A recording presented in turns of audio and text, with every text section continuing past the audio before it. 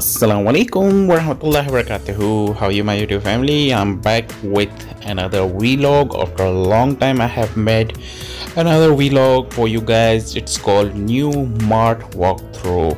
वैसे मैंने बनाना नहीं था ऐसे हम लोग गए हुए थे आउटिंग के लिए पर ये वाला एरिया देखे स्पेशल गार्डन डेकोरेटिव एरिया देखे मेरा दिल किया फ़ौरन कि मैं आप लोगों के लिए व्लॉग बनाऊँ और आप लोगों को दिखाऊँ कि कितने कलरफुल प्यारे प्यारे फ्लावर वासेस हैं और गार्डन डेकोरेटिव आइटम्स हैं यहाँ पे अवेलेबल available तो मैंने वीलॉग बनाया और फिर बाकी चीज़ें भी मैंने कवर कर ली फ़ौरन ताकि आप लोग देख सकें कि इस एरिया में न्यू मार्ट में क्या क्या अवेलेबल है क्या क्या चीज़ें अवेलेबल हैं। खैर anyways let's get started आप लोग देख सकते हैं कि कितने अच्छी तरह से फ्लावर पॉट्स वासेस और गार्डन डेकोरेटिव पीसेज हैं यहाँ पे।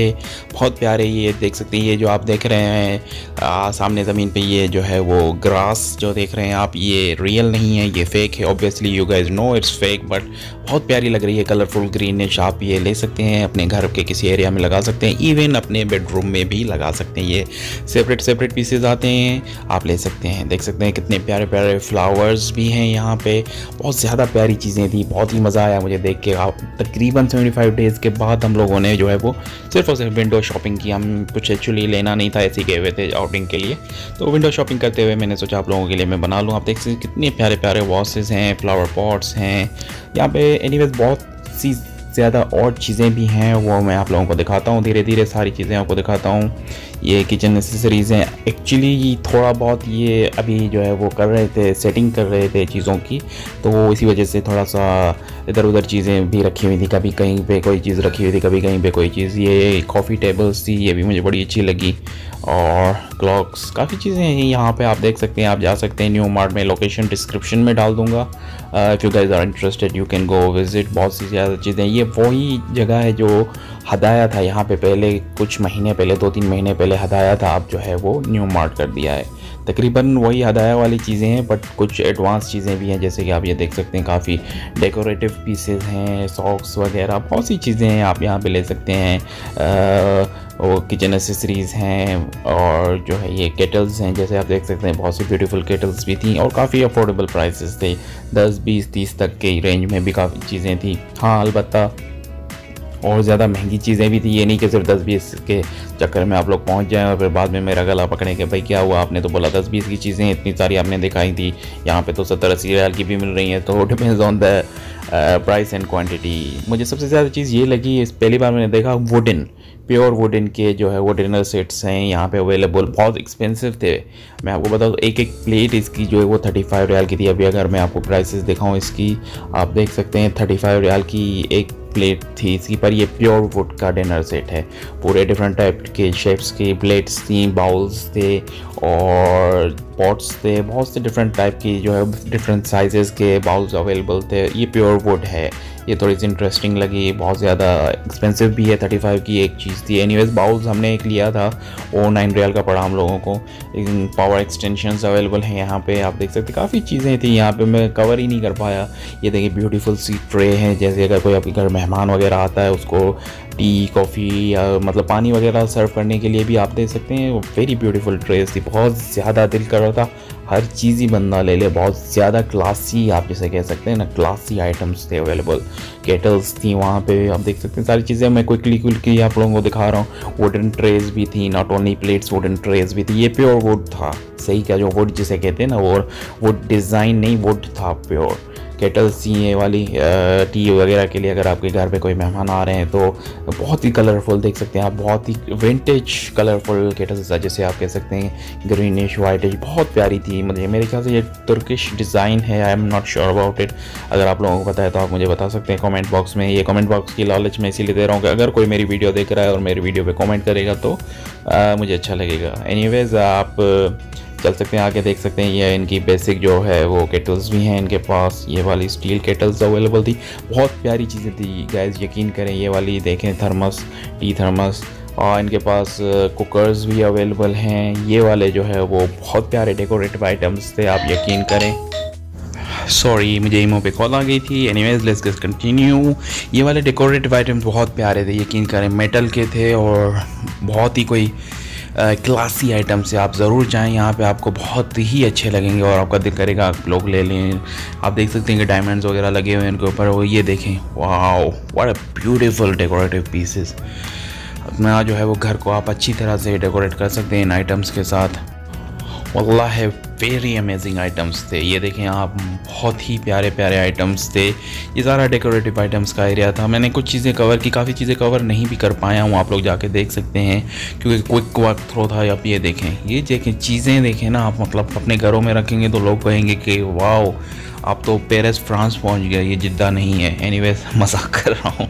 तो आप लोग जाके देख सकते हैं, ये सारे मेटल के आइटम्स थे, ये ग्लास नहीं थे, ये मेटल के जो है वो आइटम्स थे। आई होप कि इनके कलर भी काफ़ी देर तक रहेंगे, पर ये बहुत अच्छी चीज़ें थी।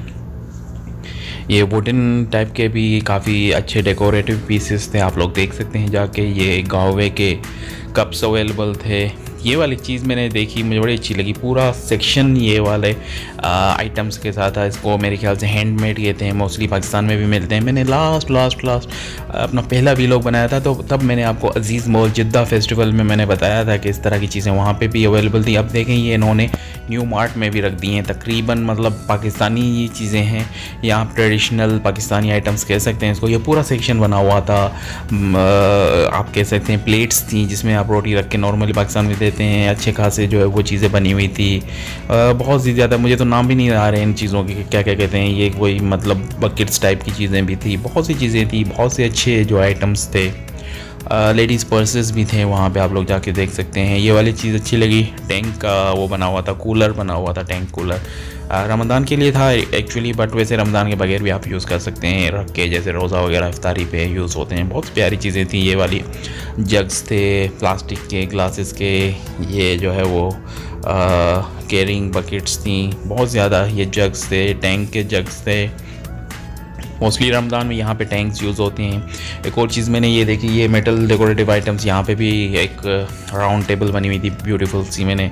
तो ये आप देख सकते हैं बहुत ज़्यादा मतलब मज़ा और अट्रैक्टिव लग रहे थे। ये ट्रेज थी गोल्डन और पता नहीं क्या क्या आइटम्स रखे हुए थे, मेरे तो नाम ही नहीं आ रहे हैं, पर बहुत ही कोई मज़े के लग रहे थे, दिल कर रहा था सारे ही ले लूँ। ये देखें, चाँद बना हुआ है, ये चाँद और उसमें जो है वो कैंडल का वो बना हुआ था आइटम तो आप उस पर कैंडल रख सकते हैं, ये वाले ट्रेस थी। ये अक्सर ये मतलब चॉकलेट्स वगैरह सर्व करने के लिए काम आती हैं। ये देखें कैंडल्स थी मेटल कैंडल गोल्डन कलर की बहुत ज़बरदस्त थी। एनी उम्मीद है आप लोगों को अच्छा लगेगा। मुझे तो बड़ा मज़ा आया जाके यहाँ पे। हालाँकि हम लोग का ऐसे ही इरादा था, ये वाली थी।